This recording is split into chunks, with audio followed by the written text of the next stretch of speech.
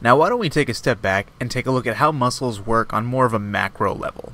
So why don't we start out by just drawing a little muscle right here. Let's say this is just the bicep and on either side there's a little bit of tendon that's kind of attached to it right here so that's some tendon. So I'll label that right there and that's just some tendon that's on either side of our muscle, our bicep right here. And the tendon attaches our muscle over to some bone. So there's a little bone right there. There's a little bone right there. Label these guys. So that's one bone end, and then here's another one. So if it's our bicep, it's anchored onto our humerus. And this is our bicep, right? So I'll just draw it in the arm. Here, this guy is sort of like flexing right there, coming down to the elbow. There. And if we want a better idea of what's going on here in this bicep, this muscle, why don't we just take a cut? So let me just cut right about there. We'll get a cross-sectional look of what's going on in our muscle. So here's the little cut we just did, right about here. Our muscle just kind of hanging out in the middle. Sort of that same shape that comes down about here. And we still got our tendon, of course, that's anchoring our muscle over to our bone. Don't forget the tendon that's still right here. And the tendon is just a type of connective tissue, and this is somewhat continuous with the connective tissue that covers the outermost layer of our muscle right here. So I'm just drawing that in.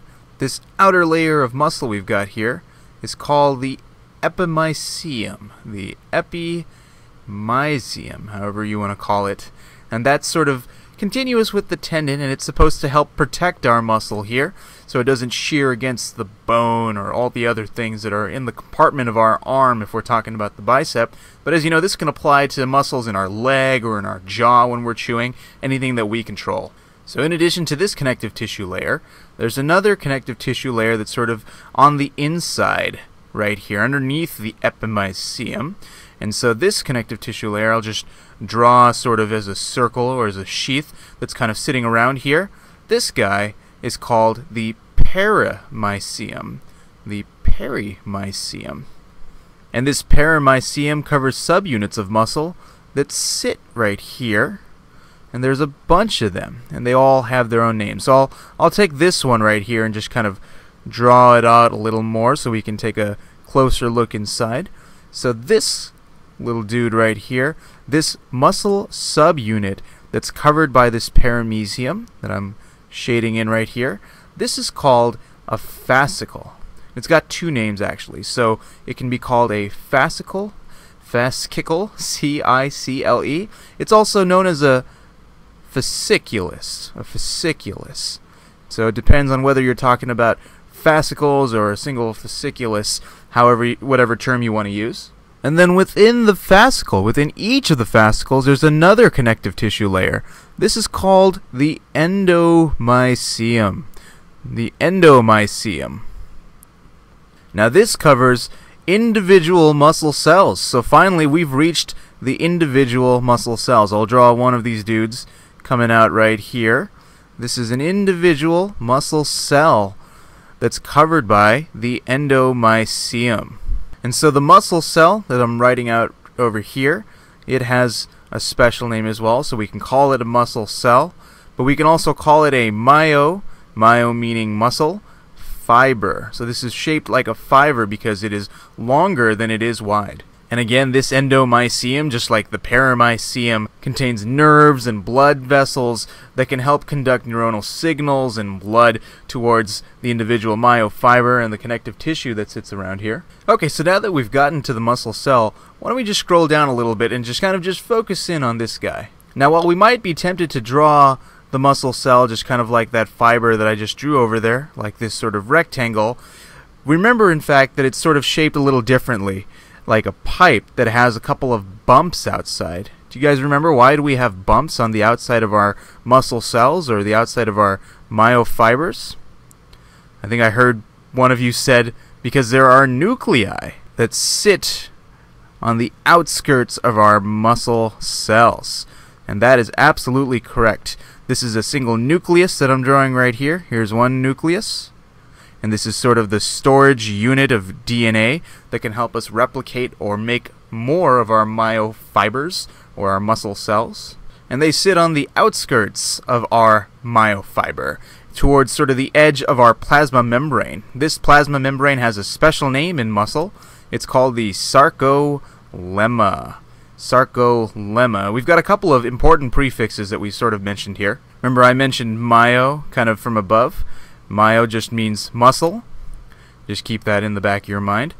And then sarco, whenever you see sarco, that refers to just flesh. And we often see this in the context of muscle because the covering of our muscle cell right here, that membrane, we call it the sarcolemma, the cytoplasm right here that's within the muscle cell, we call that the sarcoplasm the sarcoplasm. And as we get further in, we're also going to talk about the sarcomere. And so if we're talking about our myofiber right here, let me just make it look a little more tubular.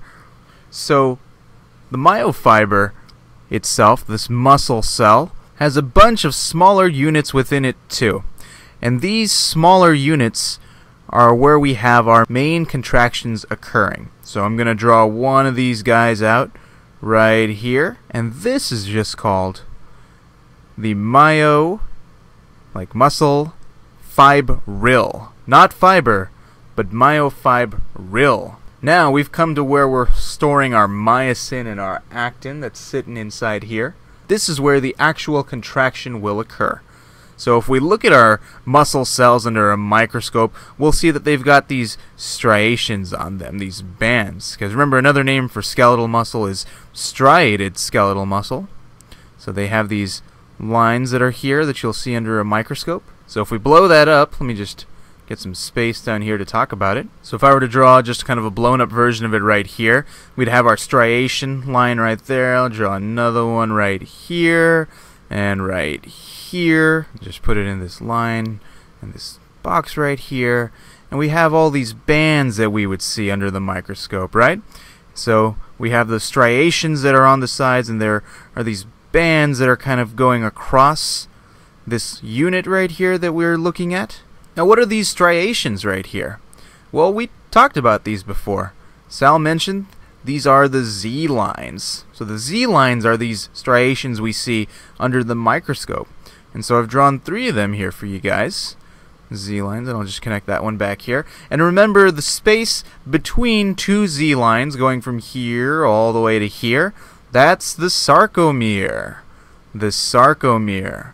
And this is our most basic unit of contraction. This is where we're going to have our actin and our myosin fibers interact and have us flex at our most macro level we'll get back to in a second. And there are different parts of the sarcomere, right? There's the part that's designated the A band that's in the middle. There's this other part up here called the I band. The I band. Alright, so let's focus in on a single sarcomere right here. A single sarcomere. So I'm drawing the outskirts of our sarcomere, of course, so that's going to be our Z line that's hanging out on either side. I've drawn two of them here. Anchored to our Z line is going to be our actin filaments. Here are the actin filaments that we've heard about before. I'll just label this. This is our actin filament. Remember, sitting inside is going to be our myosin. And our myosin filament, remember, it's got two heads, and it's associated right here with the actin. It wants to kind of pull on the actin and just crawl along of it. Crawl along the actin. And I'll draw one here as well. It's myosin heads. Two myosin heads right there. And they're attached top and bottom like that and they just want to walk across, alright? So I want to make sure that I draw that here too. Alright, and you get the picture down here. And so anchoring our myosin filaments in the sarcomere is going to be titin. We'll just draw the titin here. It's not attached to the ends of the myosin, but you can kind of see that it's holding it in place from somewhere deeper in right there. So that's our, our titin. So our titin. And again, this is our myosin this guy, myosin filaments with the two heads that come up. And at this point, we can appreciate some of the bands we talked about over here. The part that's both myosin and actin is called the A band. That's the A band that we drew on the left side over here. And the part that's only actin, actin that doesn't involve any of the myosin, that's this point right here. And it continues on into the other sarcomere. This is the I band. The I band. And the way I think about it, I kind of looks like a 1, right? So it's got one of our two major filaments. And then A is the alternative one, the other one that's got myosin and actin in it. So that's the A band and the I band. Alright, so now when you recall, so there's this axon fiber that's going to come in and release a message, an action potential that's going to come here and depolarize our sarcolemma, and it's going to sort of spread everywhere. It's not just going to go in one direction. And one of the things that we have in our sarcolemma are T tubules that can allow the depolarization or this action potential to go deep within our muscle cell or our myofiber to cause the sarcoplasmic reticulum to release calcium. Calcium then, as you remember, goes on to bind troponin. Troponin that's sitting on our actin will then tell tropomyosin, get the heck out of the way. And then our myosin, our myosin filaments that we drew right here, can go ahead and use ATP to sort of walk along our actin filaments. And so they would sort of walk along this way, and they would, you know, relatively to the actin filament, stand still. They would be crawling this way, but wouldn't really do any of the moving. They'd be anchored down. It's the actin filaments, actually, that move. The actin filaments are going to be moving closer in to the center, and that effectively causes our I band to get smaller. The I band is going to get smaller when we have our sarcomere contract. And because the A band involves however far the myosin spreads, the A band does not change. Only the I band changes here, as we effectively bring the two Z lines closer to each other and shorten the length of our sarcomere. And that's what's happening on our most micromolecular level right here with the sarcomere contracting. And all of that began with this axon fiber spreading the signal. So I hope you can appreciate just kind of going from the top right here when we're contracting our skeletal muscle and we go through all these smaller layers, what's happening at this molecular level right here. What's allowing us to contract to flex our arm or kick a ball or do something of that nature. And I hope you found all of this to be somewhat useful to you.